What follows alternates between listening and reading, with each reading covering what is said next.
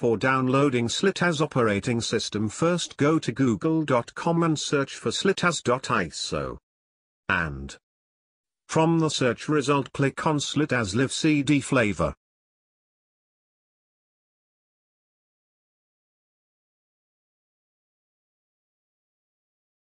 This will take you to SLITAZ website and from there you will encounter various flavor of SLITAZ OS.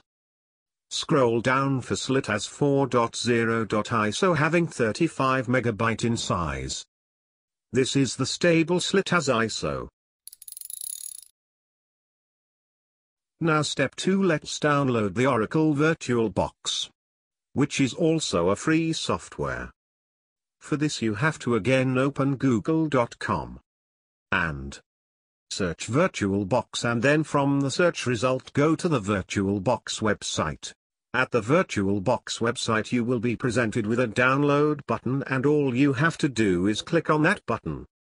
One thing to remember here, the VirtualBox will be installed on top of some host operating system and it will be the guest on that operating system. What you have to do now is know your host operating system you are using and accordingly you have to download the same version of VirtualBox.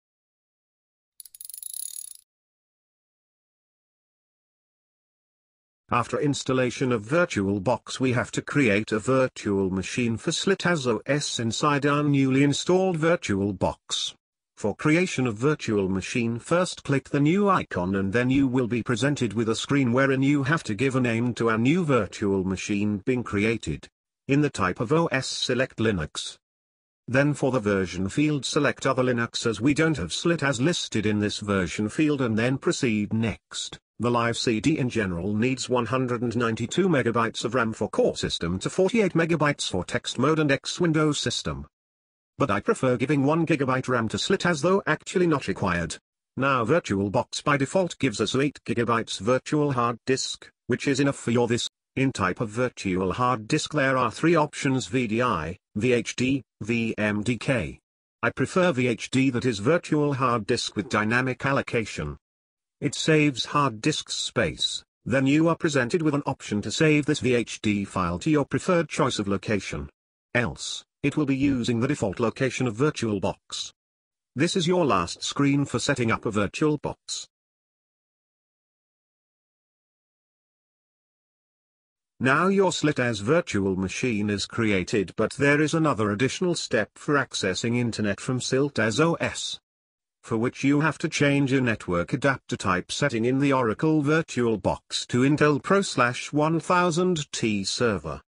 That's it and now you are all ready to fire up the SLITAZ virtual machine.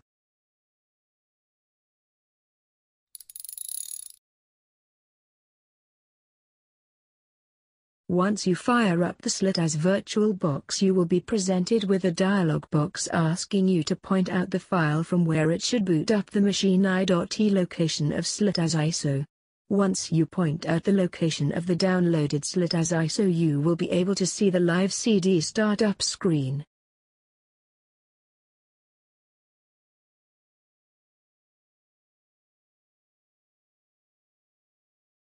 On the way of booting up through Live CD you will be asked for language setting.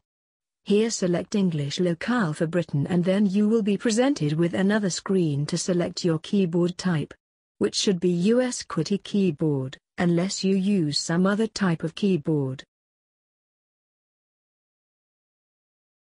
That's it now you are presented with a desktop screen of SLITAZ OS. If you have noticed booting time it takes is barely a minute. This SLITAZ OS has a very small footprint and the software installed within this tiny OS is impressive and thus makes this SLITAZ Live CD workable. Let's have a quick look at the software that comes with the SLITAZ Live CD. First menu development under it we have Beaver Code Editor which is quite lightweight and well known in Linux world.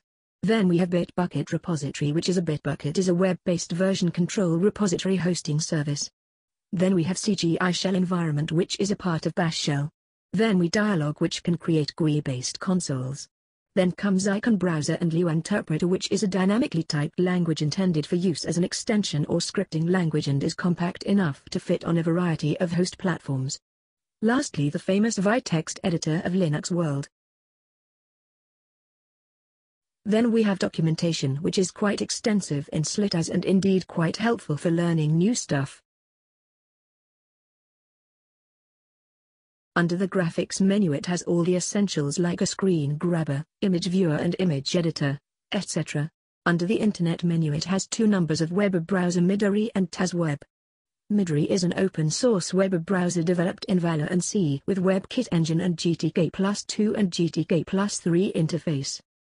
TazWeb is a homegrown web browser for SLITAZ. It has nothing special. Under the Office menu SLITAZ does not have a real Office suite, but one can install LibreOffice from SLITAZ software repository. Under Preference menu we can control the look and feel of the software. Take a note that SLITAZ is running OpenBox as its Windows manager. OpenBox is a free, stacking window manager for the X Windows system. Under System Tools SLITAZ has many important software directly connect with the health of the OS. Some of the majors are Hardware Detecting Application, GParted Editor which is the hard disk partition editor, PC File Manager, Package Manager, SLITAZ Panel in short it is the nerve center of the SLITAZ, Task Manager and Wi-Fi Configuration Application. Under Utilities menu we have CD DVD burner, ISO maker, calculator and some text editor. We also have two no's of terminal that is SIGA terminal and XTerm. Now let's install this live CD that is SLITAZ OS in our hard disk. For this we have to go to SLITAZ panel. On clicking SLITAZ panel you have to provide administrator ID and password. Since we are running a live CD here the administrator ID and password is given on the panel itself that is root and root. After this we are presented with the panel window and in the panel we have menu labeled install. Under this we can find our install SLITAZ menu and clicking on it we are presented with the window from where we can actually start working on install this live CD to our hard disk. For installing SLITAZ first we have to prepare our hard disk that is to make requisite partitioning and format the hard disk in the file system that is supported by SLITAZ OS. For this job we execute our unkparted application which is hard disk partitioning and formatting utility. One must remember that to install Linux-based OS we need a space where we will keep or install the OS and another partition for Linux swap file. So what is swap file? A swap file or swap space or, in Windows NT, a page file is a space on a hard disk used as the virtual memory extension of a computer's real memory that is RAM. Having a swap file allows your computer's operating system to pretend that you have more RAM than you actually do. Now the question comes what should be the size of this swap file? In general the swap file should be twice the size of your RAM. But this rule is good only for old PC like for old computers with 256 or 128 MB of RAM. Okay now let's go ahead and prepare this hard disk through partitioning and formatting for installing of this SLITAZ live CD. Once we settled on the size we need for our SLITAZ operating system we also decide that file system we are going to use. For this instance we are going to use ext4.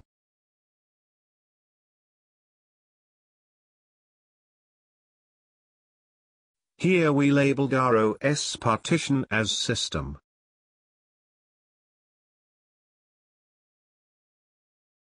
Our next step is to create a Linux swap partition which we create from the leftover unallocated hard disk space.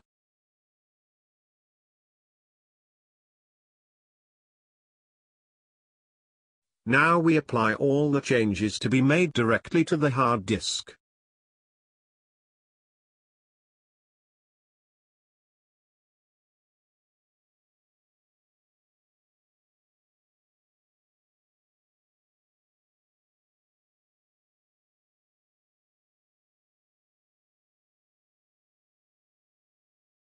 Since our hard disk is now ready to accept the SLITAZ operating system so we continue with the installation from live CD to the hard disk HDA1.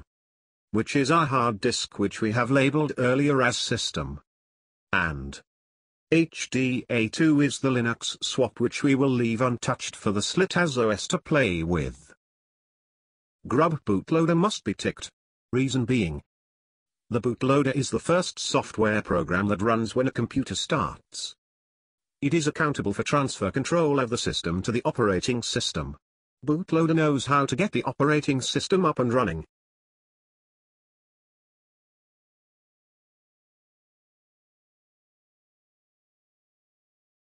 Here we can see that the SLITAZ OS is getting installed in the hard disk from the live CD.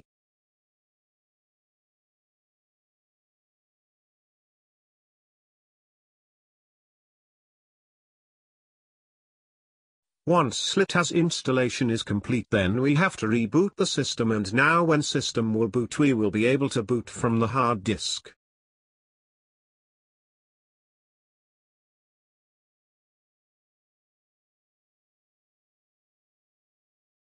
This is Grub Bootloader in play. Showing us our new SLITAZ OS.